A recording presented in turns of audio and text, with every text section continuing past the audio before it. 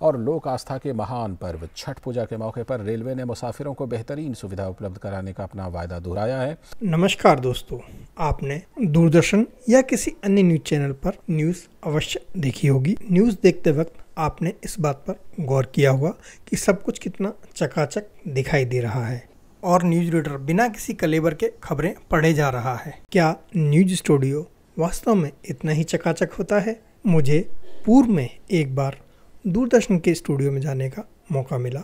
हालाँकि, यह paid tour था, लेकिन इसमें हमें बहुत कुछ सीखने को मिला। आइए चलते हैं दूरदर्शन के न्यूज़ रूम में और देखते हैं कि न्यूज़ रूम वास्तव में अंदर से कैसा होता है। मुझे न्यूज़ रीडर की सीट पर बैठने का मौका भी मिला और यकीन मानिए दोस्तों, यह एक ज़बरदस्त अनुभव था। मेरे साथ मेरे इंस्टीट्यूट के और बच्चे भी थे जो कि मेरे साथ ही ट्रेनिंग ले रहे थे। न्यूज़ रीडर कैसे खबरें पढ़ता है, उसका राज आपके सामने है। इसमें कैमरे के आगे नीचे हॉरिजॉन्टल सरफेस पर लिखे हुए टेक्स्ट की मिरर इमेज दिखती है।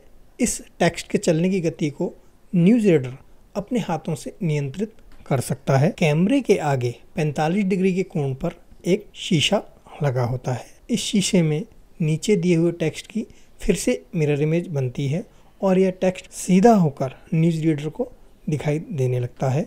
इस 45 डिग्री के शीशे के एकदम पीछे कैमरा लगा होता है, क्योंकि न्यूज़ रीडर कैमरे की ओर देखते हुए ही न्यूज़ पढ़ रहा होता है, जिससे हमें लगता है कि न्यूज़ रीडर बिना किसी बाहरी मदद के न्यूज़ पढ़ रहा है। इसके अलावा आपने यह भी ध्यान दिया होगा कि यह पूरा न्यूज़ रूम स्टूडियो हरे फैब्रिक से ढका हुआ है। इस हरे रंग को कंप्यूटरों की मदद से निकालकर इसमें ग्राफिक्स वगैरह जोड़े जाते हैं और हमें हमारा चकाचक स्टूडियो दिखाई देने लगता है।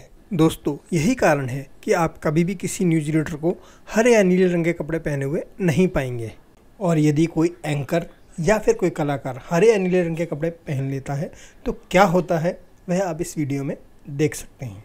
यदि न्यूज़ एंकर हरे रंग के कपड़े पहनता है तो वह ग्राफिक्स उसके कपड़ों पर भी दिखाई देने लगेंगे। इसी स्टूडियो के दूसरे हिस्से में एक डिबेट की तैयारी हो रही है।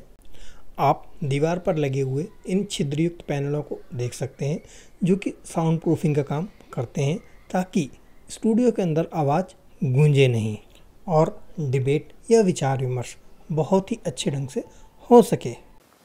दोस्तों, मेरा नाम है अमृत सिंह और यदि वीडियो आपको पसंद आए तो इसे लाइक करें शेयर करें और यदि इस चैनल को अभी तक सब्सक्राइब नहीं किया है तो सब्सक्राइब करें। अगले वीडियो में किसी नई जानकारी के साथ फिर से मुलाकात होगी। तब तक के लिए नमस्कार, जय हिंद।